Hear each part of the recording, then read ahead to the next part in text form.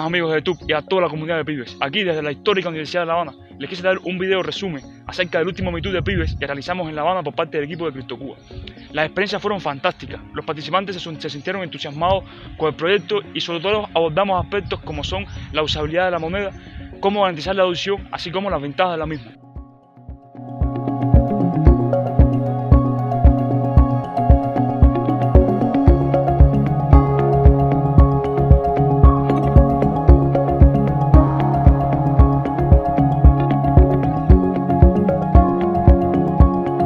También nos centramos en temas que no abordamos en el primer YouTube, como fueron ZPIF en las acciones privadas y el staking como un método de ganancia pasiva eh, con la criptomoneda.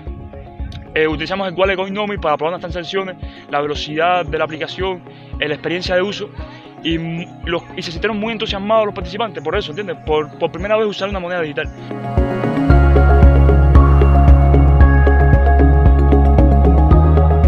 No solamente eh, se encuentra atrasada económicamente, sino también el hecho de una economía digital, eh, hacer compras online y ese, tipo de, procedimientos que usualmente en otros países están acostumbrados, en Cuba no, es, no sucede así. Entonces, un cubano cuando prueba este tipo de, herramientas se siente, digamos, a siempre hecho contento, positivo.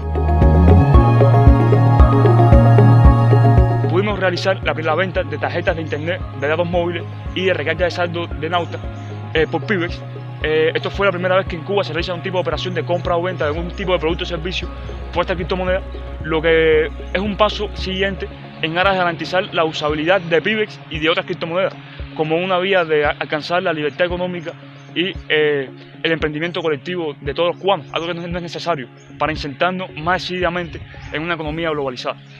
Eh, deseo agradecer a toda la comunidad de Pibes por todo su apoyo, al embajador Guancetti como siempre, a todo el equipo de la, comunidad hispana de pibes y sigamos adelante.